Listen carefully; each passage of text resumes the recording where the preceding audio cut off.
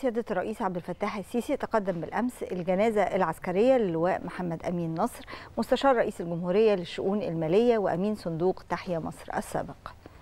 تقدم سيادته بخالص العزاء والمواساة لأسرة الفقيد العظيم اللي خدم الوطن بشرف وإخلاص وكفاءة في العديد من المواقع على مدار مسيرته الوطنية الممتدة داعيا الله عز وجل أن يسكنه فسيح جناته ويلهم أسرته وذويه الصبر والسرور